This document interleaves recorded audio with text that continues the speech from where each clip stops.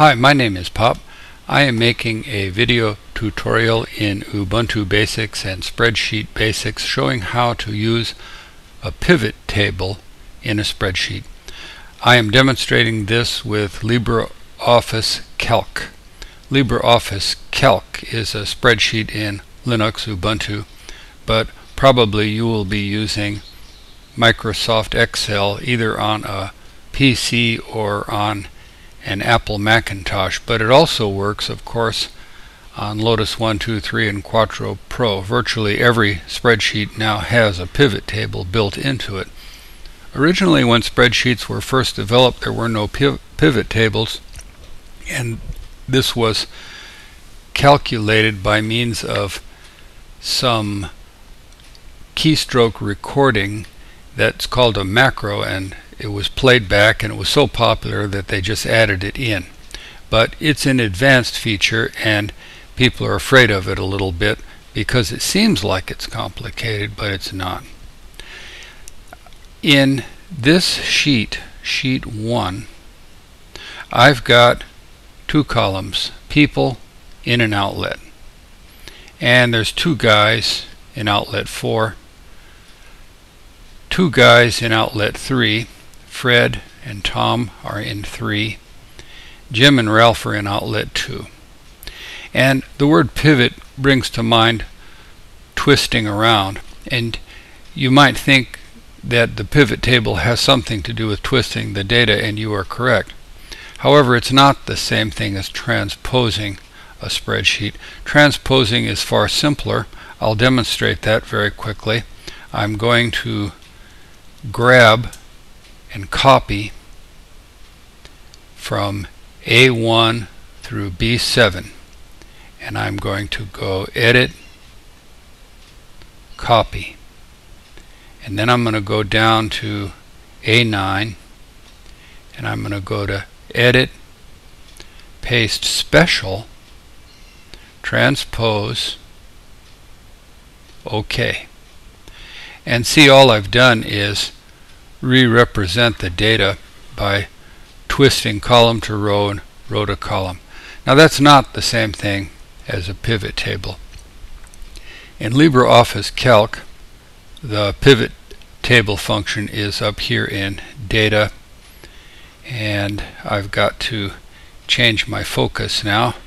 I'm going to look at this in a different way. It's located in data and data pilot, but I'm not going to go there yet. Because actually, in order to use a pivot table, you need a minimum of, I would say, three columns. So let's get some more columns. I'm going to go now to the second sheet where I have added some more data. I've added a column of dates and a column of sales.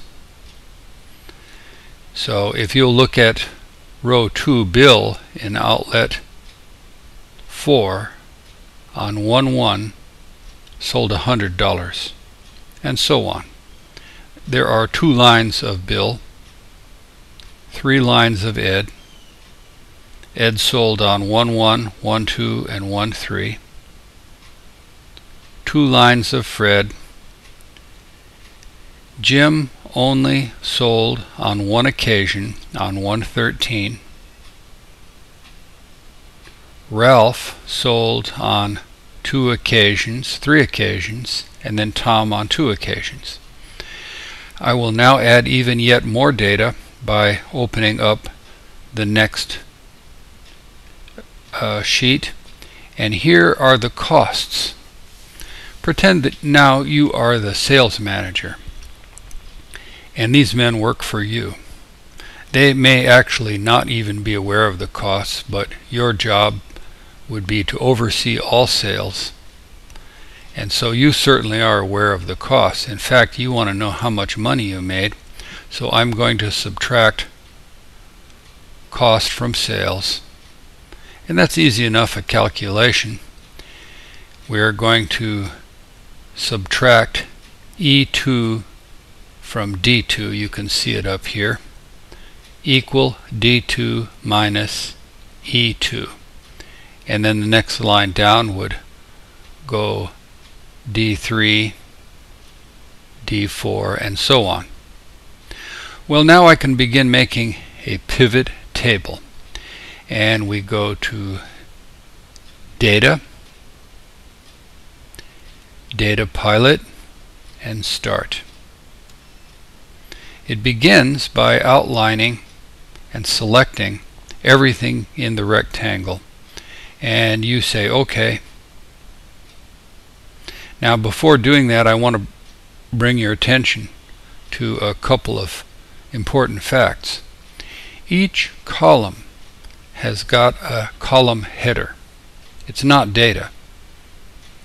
If you look in A1 it says person in B1 it says outlet those are column headers it's not data and then if you'll go down column A, those are row headers. Those are the names of the guys.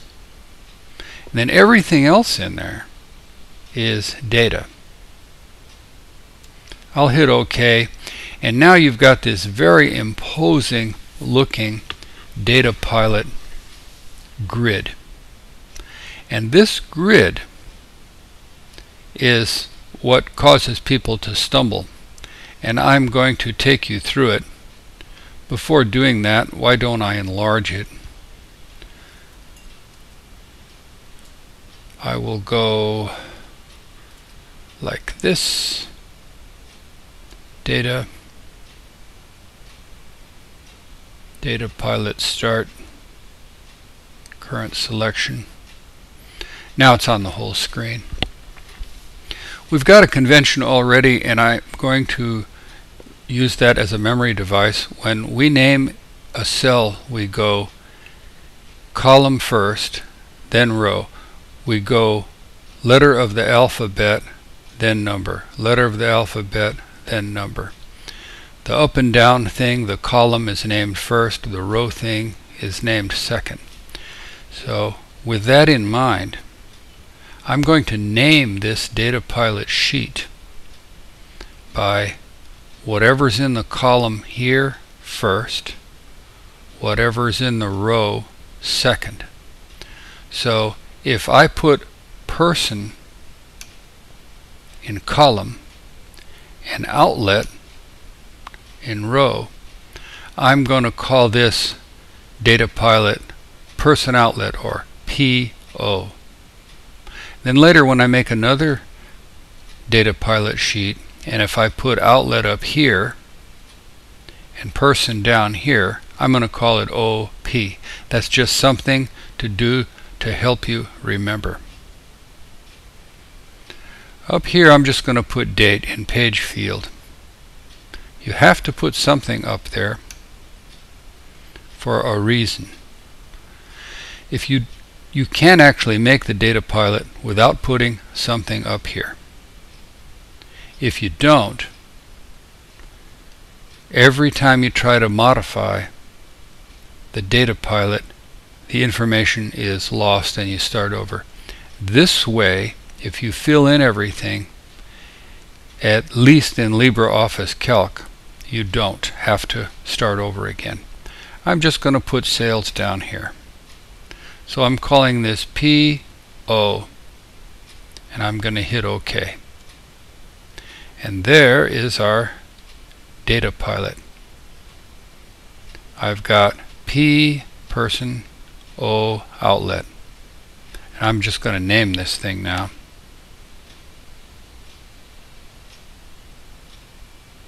PO. That's the name of this.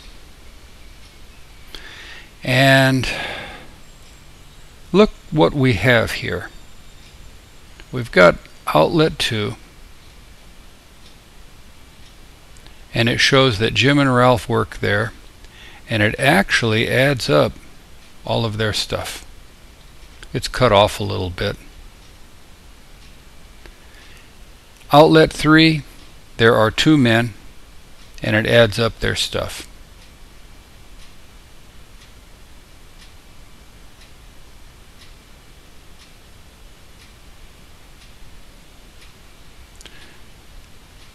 It adds up everything that Bill did everything that Ed did, and so on. No, no real difficulty there because Bill only worked in outlet number 4 but later I'm going to get more complex with the data and you'll see the beauty of this. What we're doing here is limiting the information and focusing on it. We've got too much information and we're consolidating it. Okay, let me go back to this spreadsheet and I'm going to make another data pilot.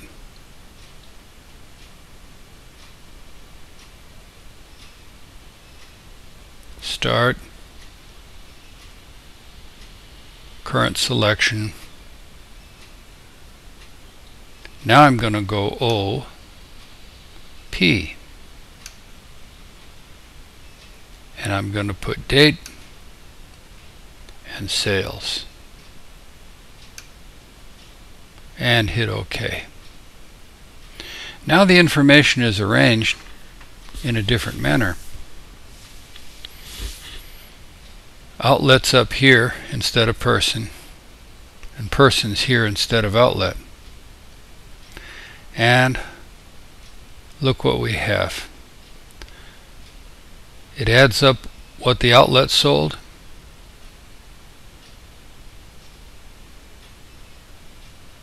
and over here it adds up what the person sold. Now I'm going to rename this OP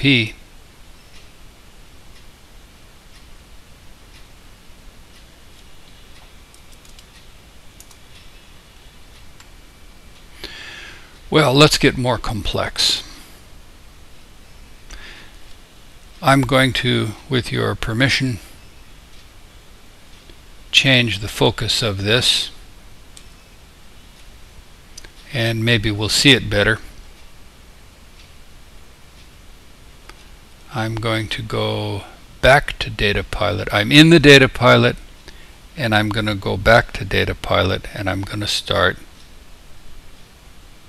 and it shows the stuff we've already got it doesn't make me start over. And that's because I put something up here in page fields. And I've only got sales in the body. But let me put in costs and let me put in sales minus costs and hit OK. And you can see more information this way.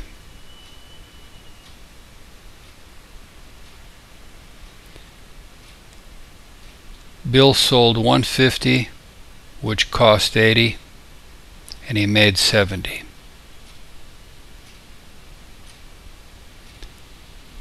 You can quickly change the data pilot around.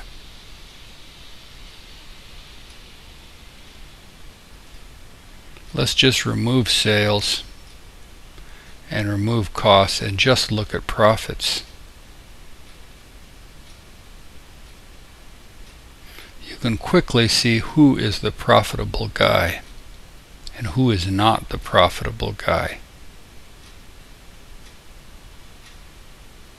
Let's go look at the other data pilot and do the same thing.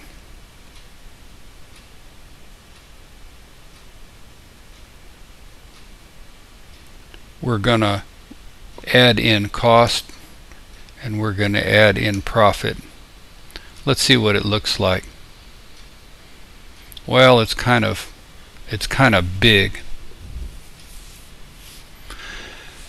There's a format you can do. You can go select the whole business, format, column, optimal width, OK now we see it better.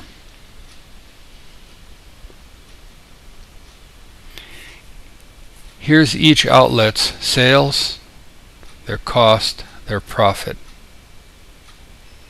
But again, let's go to the data pilot and remove sales and costs.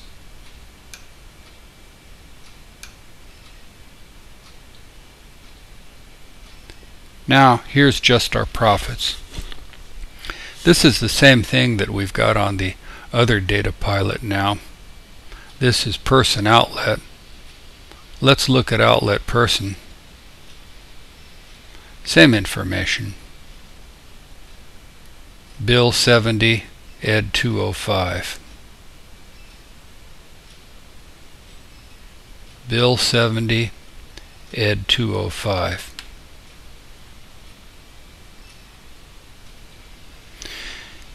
You can add things to the filter up here and filter out stuff.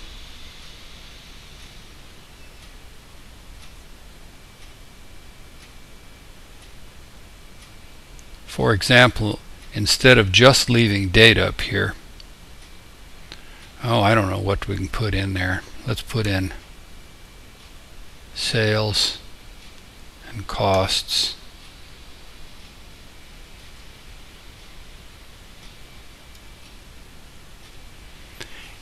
We can just look at one day.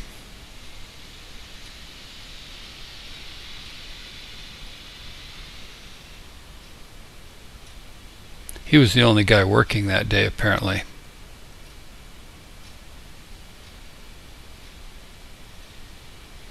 But on the 15th, look how many men were working and how much money came in.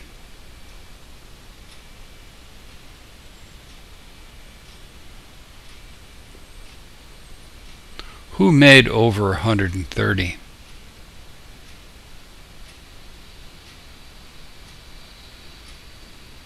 who sold over 130. Down here we're only showing costs.